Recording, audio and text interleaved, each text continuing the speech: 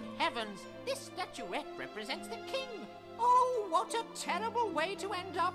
Oh, the evil wizard has cast a spell on him. Hmm. According to the prisoner we released, only Shadwin the Wise can help us now.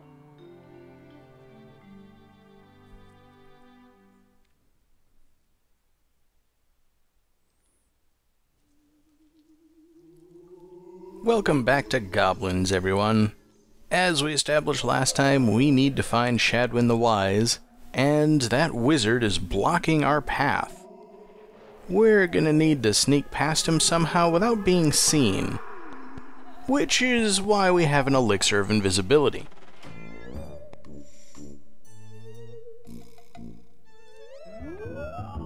Well, that was an easy puzzle.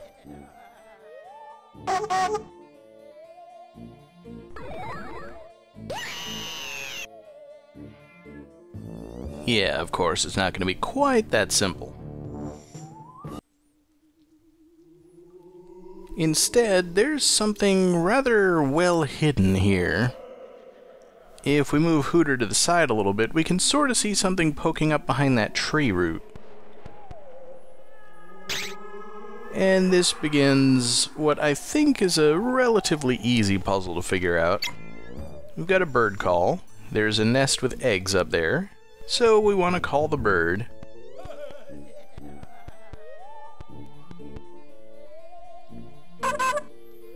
And we have to be standing next to the nest when we do it, because otherwise the bird's just going to lay an egg on our heads. And at this point, you're probably wondering what we need to do with this bird. Well, think about what birds do in nature when they're sitting on eggs. It just sort of takes a while.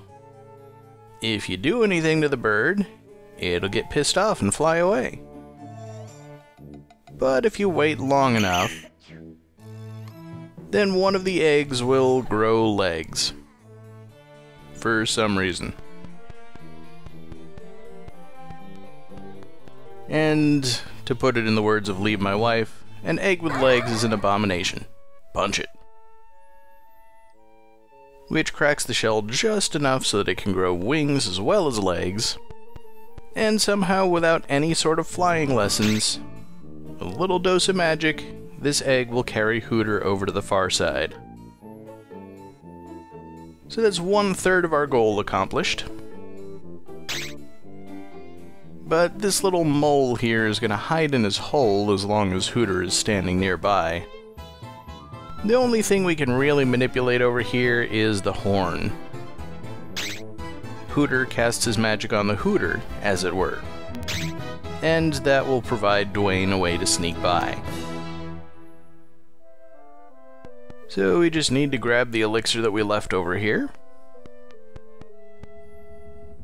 And make our way once again to the far side of the room.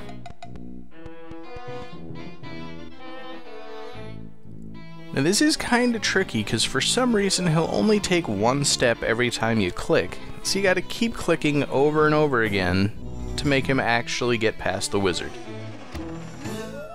But you have plenty of time to do it. And now we simply pick up the carrot and apply it to the only thing over here that makes any sense. Now the mole is attracted to the carrot and will stay within range of our magic.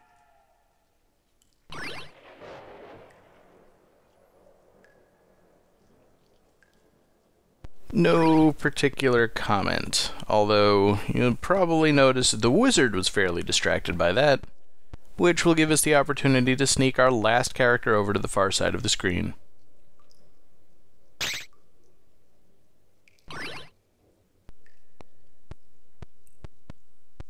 Every step is pretty logical once you find the bird call, I think.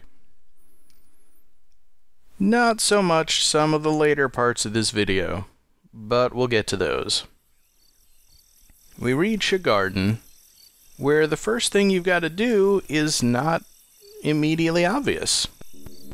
Yeah, there's a stick down here we can pick up.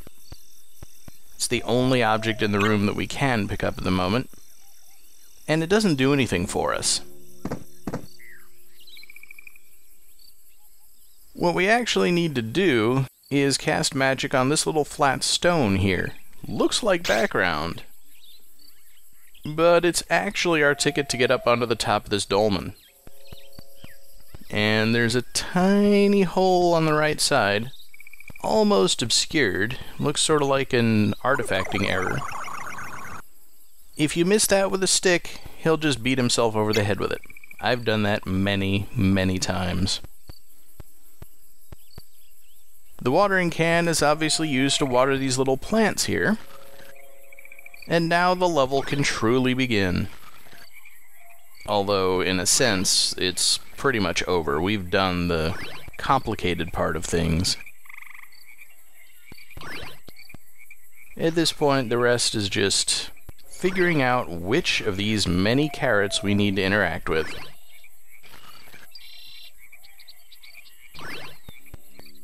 So we'll get Dwayne out of the way, and punching is clearly not the solution here. We need to cast magic on these carrots to find out what's beneath them. Because it ain't carrot. Or at least it's a carrot with attitude. This one's a little friendlier. It's just got a keyhole on it. But the key is hidden under another carrot.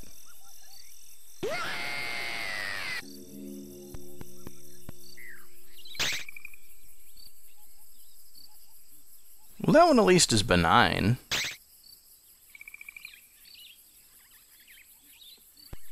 And of course, the final carrot hides our key on the nose ring of a rebellious teenage carrot, but we can't get to it. You might have also noticed that I skipped one carrot, and there's a reason for that. This is a good carrot to hit last.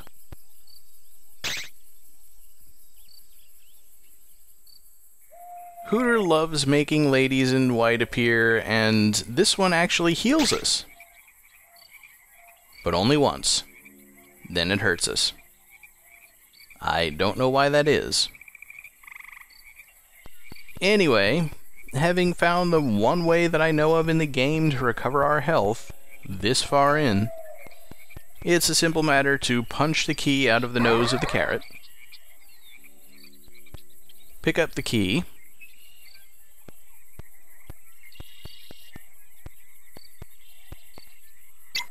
if we can target the key rather than the carrot. And open the door in the other carrot. And may we never see another carrot again. For some reason, it takes forever for the go marker to appear, but opening the carrot is all we need to do.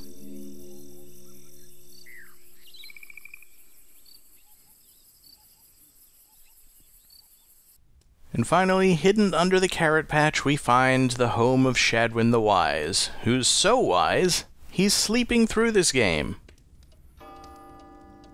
This is the most annoying room in the entire game. Because we obviously need to wake Shadwin the Wise in order to get his advice. But this dude will sleep through just about anything. And you know what they say, if you can't wake 'em with a stick, you gotta do it with a carrot. Keep that in mind as I proceed here. So let's make some noise, see if we can wake 'em up.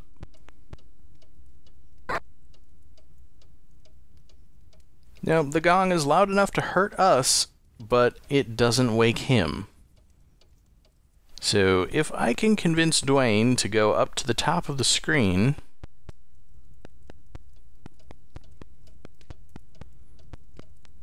There's a little matchbox up in the corner. And that obviously is going to be very important for dealing with that cannon in the center of the room.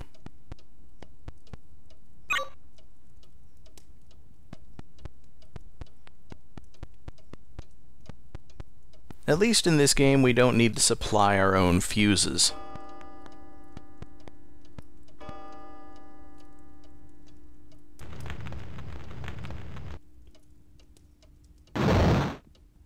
But not even the sound of a cannon is enough to wake Shadwin. we're going to need to load that cannon. And there's a supply of cannonballs over here, but we need to punch one of them off the stack in order to pick it up.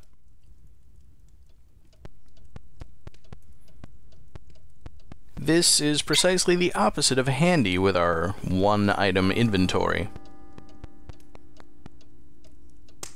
And Dwayne petulantly refuses to put the cannonball into the cannon because it's facing the wrong direction. As we all know, you have to point a cannon upwards before you can load it, so we need to punch it again. And now we can light the cannon. It's like they were really looking to have Bobo be useful in a level instead of just doing one random thing.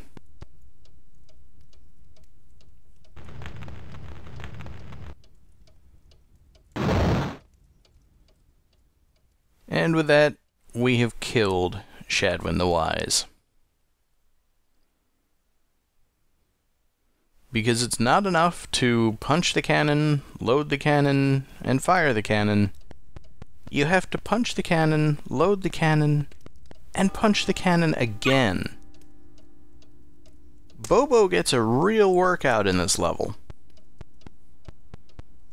And this is, of course, the shortest path to get through. Usually the challenge is figuring out what it is you have to do, and then doing it is just a minor portion of it. You can play through most of the game in almost no time, but here you're going to be spending a lot of time having Bobo run back and forth between the cannonballs and the cannon. And of course, Dwayne picking up one thing, going back and picking up the other thing. There's a whole lot to do.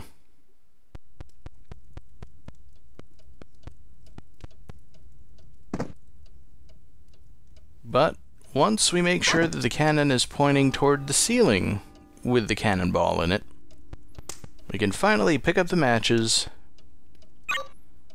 light the cannon, and accomplish something.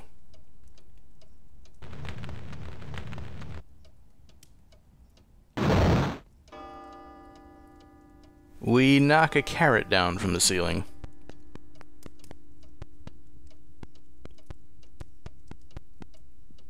At least it's not a rebellious teenage carrot. But the carrot is also not going to help us wake Shadwin.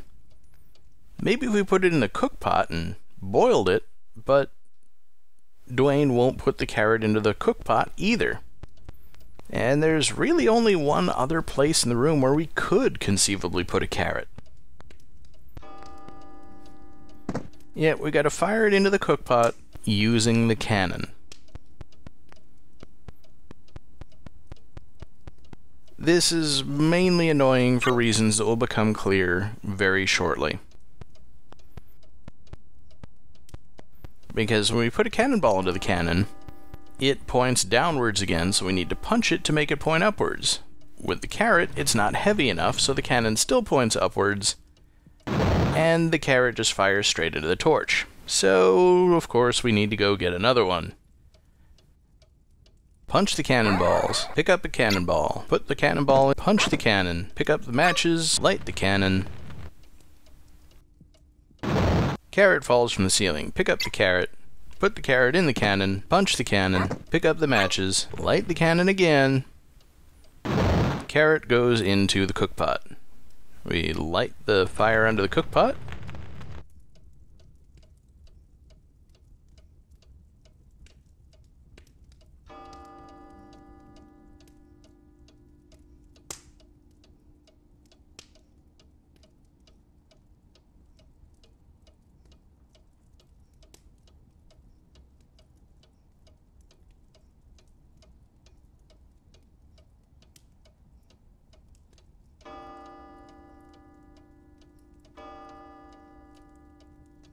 And he finally wakes up. But he's hard of hearing. And we need to fix that.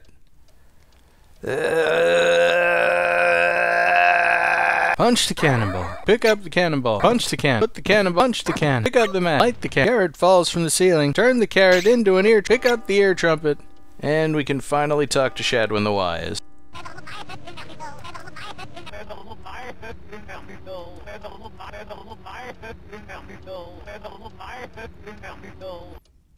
So, as usual, we're not going to find out what he told us until we actually finish the level. But he did conspicuously make this little mallet appear here. And the mallet can obviously be applied to the gong. And from here, everything is confusing but fairly straightforward.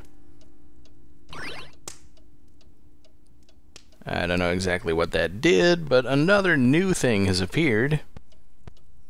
And this is the point at which they kind of said, well, I don't know how to make these objects get into our inventory, so let's just sort of throw them at the player.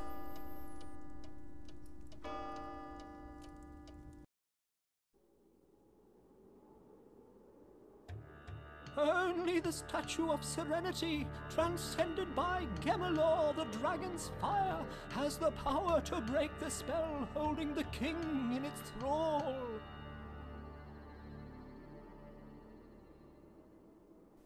Yeah, the first time I played, I didn't really make a whole lot of sense out of that, but of course, I was using the hint book at the time.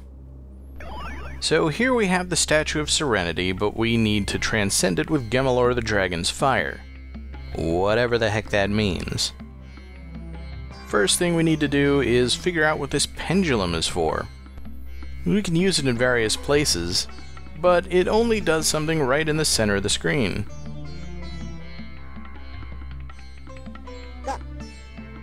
And that's the purpose of the pendulum, to mark this spot.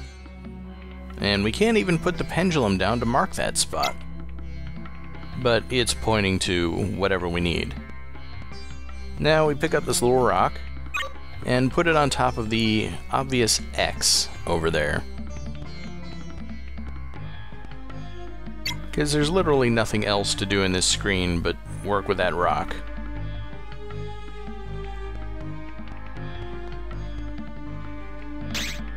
So the rock turns into a step, and only on top of the X, the step will turn into a ladder and become part of the background.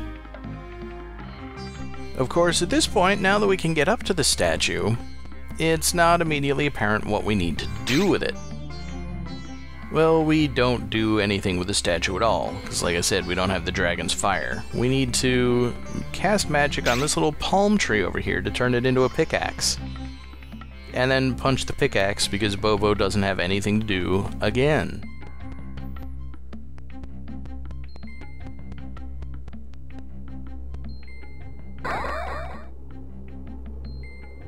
And the pickaxe is, of course, the correct tool for digging a big hole in the ground. And we know where to dig because either we use the pendulum or we just sort of click the pickaxe in random places until this happened. And yes, you've got to click it over and over again until the hole is big enough. You know, that pickaxe would have been useful in the next screen, but we're not taking it with us.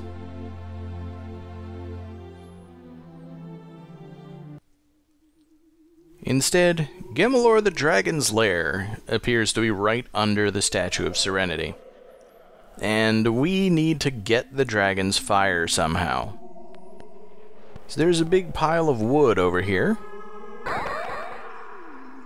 And doesn't it seem quite natural that the wood could be used as a torch? I mean, granted, normally you have to wrap it in something, but hey, it's Goblin's logic.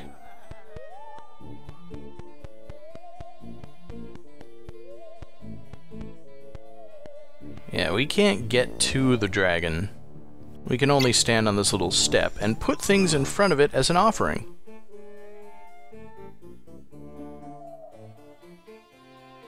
Unfortunately, the wood burns too easily. We're gonna need something that's flammable but not destructible.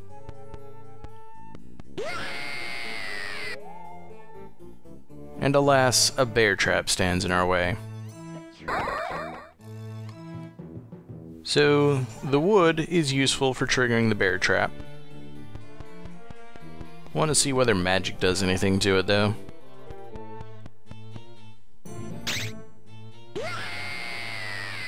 Yep, it just kind of comes to life and scares us.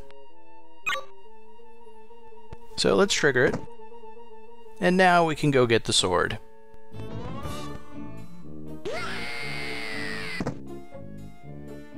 The bridge is another trap. And I have to assume that the bridge put the bear trap there to make us think it was the only trap in the area. So we, what we need here is that little bag in front of the dragon, but we can't get to it, so we're familiar with this puzzle at least. We'll use our magic to bring the bag within range of where we can pick it up. Oh, and by the way, if a character stands in front of the dragon for too long, he becomes the offering. But fortunately, it's not instant death. So we'll go pick up the bag. And then quickly get out of the way. It's a bag of seeds. And what this does isn't immediately apparent, but the thing that matters is where you're standing when you use it.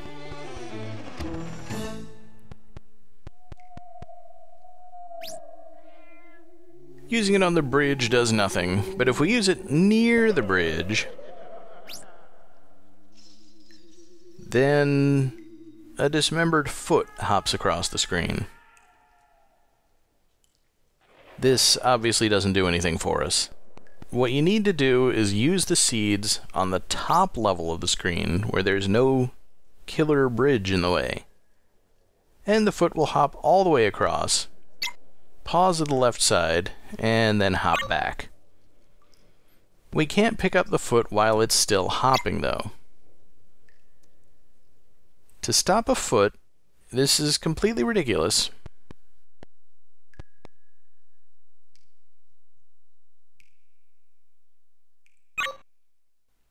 Bring Hooter up here.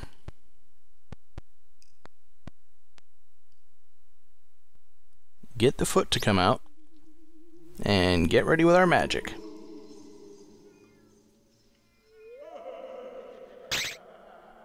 You can't target the foot.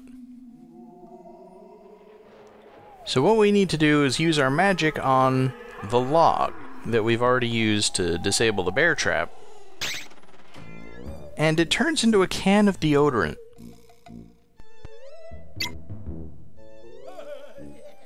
I'm gonna have to get Hooter out of the way so I can actually pick it up. But this shows the problem with inventory item based puzzles in this game. We're going to need to very quickly swap between the seeds and the deodorant. And it's one of those timing things that if you're not coordinated enough, you may never be able to pull off. But we've now deodorized the foot. It's incapacitated. And the foot is obviously made of meat, which we can feed to the meat-eating bridge.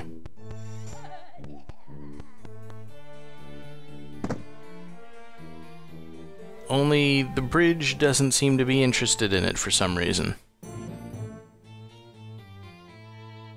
I'm going to leave it as an exercise to the reader to figure out why, because this is the point at which Leave My Wife ironically had to leave me to go spend time with his wife, and we came back after a short break. So, see if you can figure out what to do with the foot, and I'll catch you guys for the finale in the next video.